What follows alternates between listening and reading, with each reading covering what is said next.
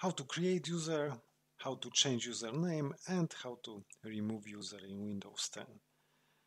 First open control panel, click on search and start typing control panel. Open it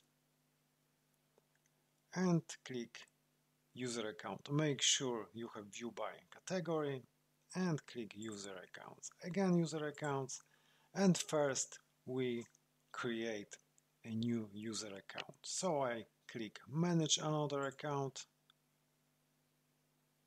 I have only one account on this machine, but I can add a new user in this PC settings. I click on this and I'm in settings family and other people. I can add someone to this PC. Click add.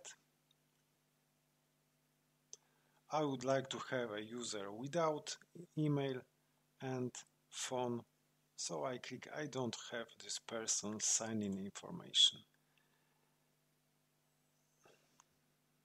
Again, person doesn't have Microsoft account.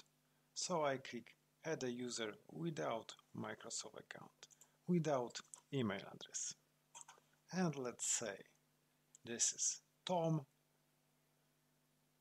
account, click next. And that's all. We just create a new user account.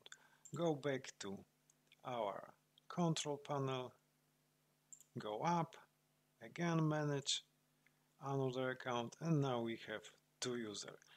If I want to change username, I click on Tom and here I have changed the account name. Let's say it will be Thomas instead of Tom.